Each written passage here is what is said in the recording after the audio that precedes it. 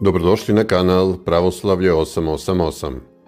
Zapratite nas i bit ćete u toku s aktuelnim događanjima iz sveta pravoslavlja i šire, kao i mnogim dušekorisnim sadržajima. Hvala vam. Dan pred početak Velikog posta, u nedelju praštanja, 6. marta 2022. godine, u glavnom hramu Oružanih snaga Rusije dogodilo se veliko čudo i znamenje. Ali pre nego što pogledamo video o tome, evo ukratko informacija o samom hramu. Glavni hram Oružanih snaga Ruske federacije treći je hram po veličini u Rusiji. Osveštan je u junu 2020. godine. Zanimljivo je da je u njegove temelje ugrađeni grumen srpske zemlje. Prečnik glavne kupole ovog hrama je 19,45 metara, u skladu sa 1945. godinom, kada je okončan Veliki rat. Visina male kupole je 14,18 metara, jer su 1418 dana i noći trajala borbena dejstva.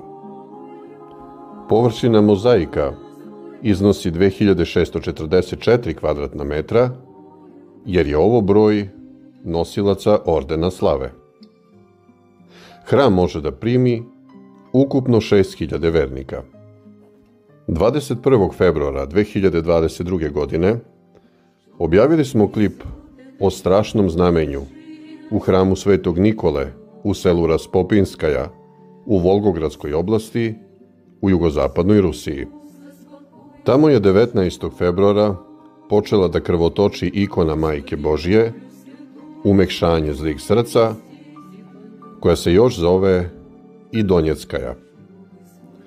Vernici su to tumačili kao znamenje i ukazanje dolazećih nevolja, što se sa početkom rata Rusije i Ukrajine pokazalo kao tačno. A juče, 6. februara, u hramu Vaskrsenja Hristovog, glavnom hramu Oružanih snaga Ruske federacije, za vreme molebana, ikona presvete Bogorodice, koja se zove Umekšiteljica zlih srca, počela je da mirotoči. Kako je za kanal Donbas rekao očevidac ovog čuda, miro ne kaplje, već teče kao potok i liči na krv.